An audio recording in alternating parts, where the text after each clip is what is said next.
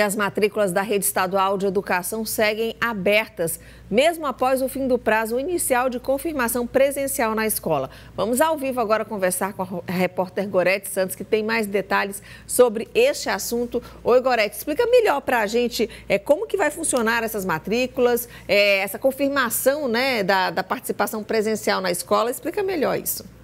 Bom dia. Olá. Bom dia, Neyara, a você e a todos.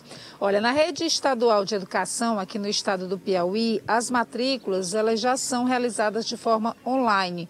Só que é preciso, depois disso, fazer a confirmação de forma presencial. E esse prazo encerrou na última sexta-feira.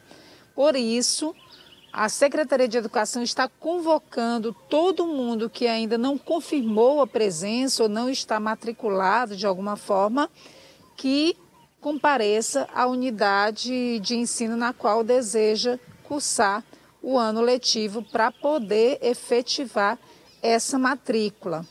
Esse prazo ele vai agora até o dia 7 de fevereiro, que é a mesma data marcada para o início do ano letivo. Para se ter uma ideia, Neara, até o momento foram efetivadas aproximadamente 180 mil matrículas na rede estadual de ensino e a previsão é de que o número supere 200 mil, portanto, mais de 20 mil alunos, pelo menos, ainda estão sendo aguardados.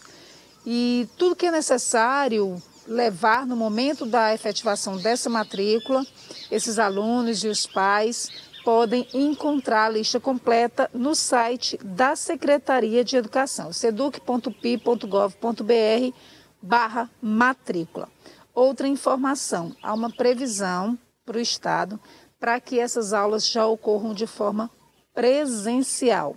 Desde quando retornou no sistema híbrido, alguns critérios, né? todas aquelas medidas de segurança que nós já conhecemos, mas há também, por exemplo, a, o índice de transmissibilidade que deve ser inferior a 1 e a taxa de ocupação na rede hospitalar menor do que 50%. Então deve haver uma reunião ainda para definir tudo isso. Niara? É isso, Gorete. Tantas escolas particulares quanto as escolas públicas são essa expectativa, né? O que, que deve acontecer? Se vai ser híbrido, totalmente presencial, a gente vai acompanhar. Obrigada, viu? E ontem nós falamos aqui no Notícia da Manhã sobre as matrículas na rede municipal de Teresina para o ensino fundamental, que estão abertas até o dia 14 de janeiro. É importante reforçar que para o ensino infantil 1 e 2 na capital, as matrículas de alunos novos estão sendo recebidas somente até a próxima sexta-feira, que é dia 14 de janeiro.